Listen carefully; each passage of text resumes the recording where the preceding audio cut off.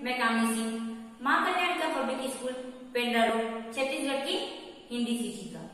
बच्चों, सर्वनाम किसे कहते हैं? जो शब्द संज्ञा के स्थान पर प्रयुक्त होते हैं, उसे हम सर्वनाम कहते हैं। सर्वनाम के छह भेद होते हैं।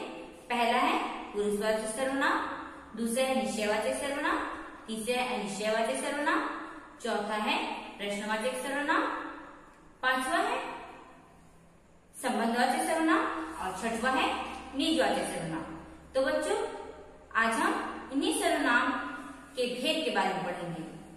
तो सर्वनाम के भेद। सर्वनाम के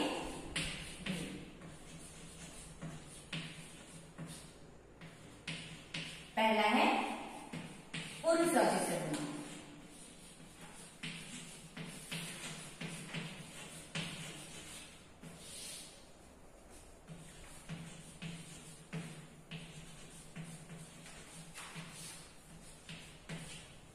बच्चों पुरुषवाचक सर्वनाम किसे कहते हैं?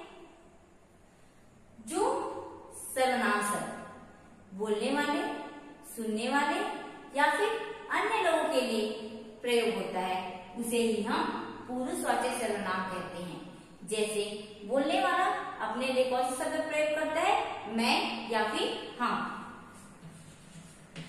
मैं या फिर हाँ। उदाहरण मैं पढ़ रही हूँ। इसमें वक्ता अर्थात बोलने वाला अपने प्रयुक्त कर रहा है कि मैं पढ़ रही हूँ। तो ये जो मैं है, उसे ही हम क्या कहेंगे? पुरुषवाचक सर्वनाम। फिर आगे है सुनने वाले अर्थात बोलने वाला अपने लिए वो नहीं करता है, बल्कि वो सुनने वाले के लिए जो शब्द प्रयुक्त करता है, उसे हम गुरु स्वाचे सर्वनाम कहते हैं। जैसे, तुम तुम भी खेलो। तुम भी खेलो तो यहाँ पर जो तुम शब्द है वो बोलने वाला सुनने वाले के लिए प्रयुक्त कर रहा है तो तुम तुम्हारा तुम्हें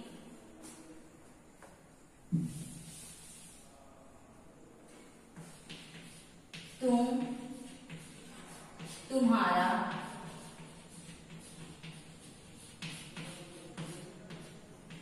तुम्हें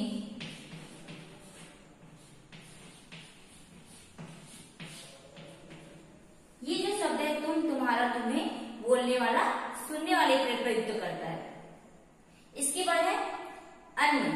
अन्य अर्थात कि बोलने वाला अपने लिए वो शब्द प्रयुक्त नहीं करता है, सुनने वाले के लिए भी प्रयुक्त नहीं करता है अपितु किसी अन्य के लिए जो शब्द प्रयुक्त करता है, उसे भी हम पुरुषवाचक सर्वनाम कहते हैं। जैसे वह जा रहा है।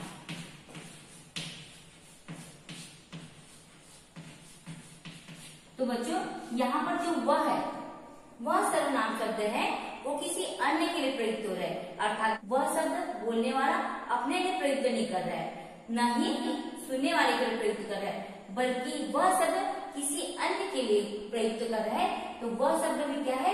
पुरुषवाचक सर्वनाम। तो इसके अंतर्गत है, वह, वे यह ये, आदि।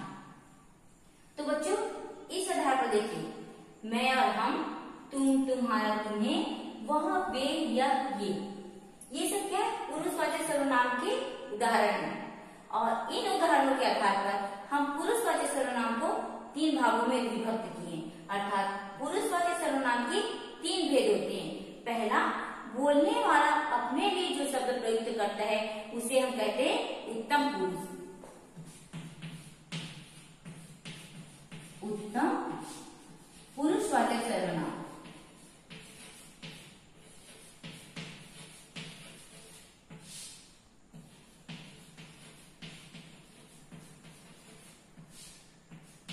दूसरा है, वक्ता सुनने वाले के लिए जो शब्द प्रयुक्त करता है, उसे हम कहते हैं मध्य पुरुष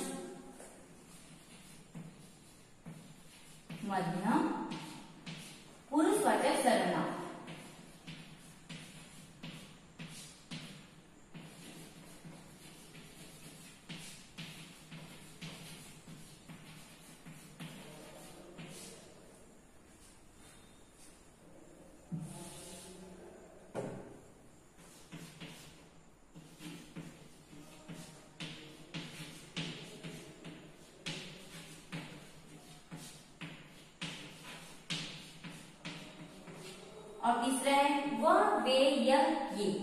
तो इसमें बोलने वाला जो शब्द है, किसी अन्य के लिए प्रयोग करता है तो उसे हम कहते हैं अन्य पुरुषवाचक सर्वनाम। अन्य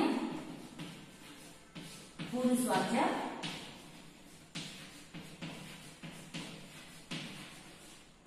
सर्वनाम।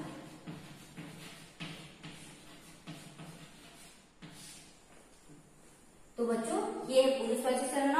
पुरुषवाचक सर्वनाम के तीन उपभेद होते हैं। पहला है उत्तम पुरुषवाचक सर्वनाम दूसरा मध्यम पुरुषवाचक सर्वनाम और तीसरा है अन्य पुरुषवाचक सर्वनाम बच्चों, इसके बाद है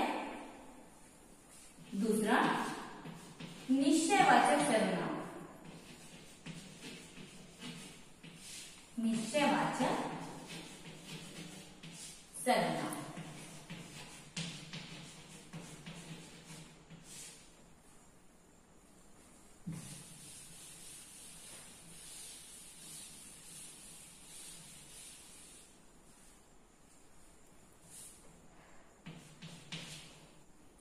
निश्चयवाचक सर्वनाम? जिन शब्दों से? किसी निश्चित व्यक्ति या वस्तु के बारे में पता चलता है, उसे हम निश्चयवाचक सर्वनाम कहते हैं। उदाहरण, यह मेरी पुस्तक है।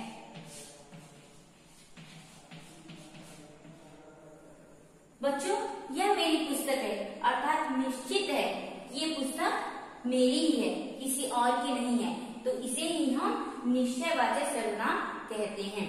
एक, एक और उदाहरण देते हैं। यह मेरी बड़ी बहन है।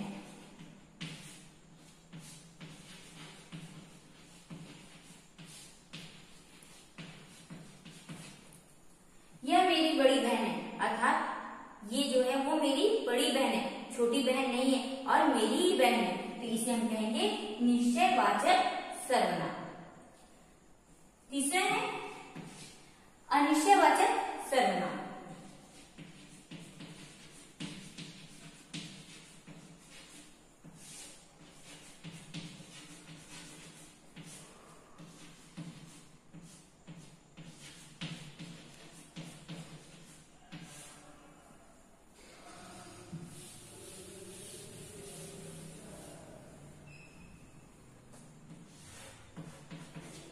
अनिश्चयवाचक सर्वनाम जिन शब्दों से?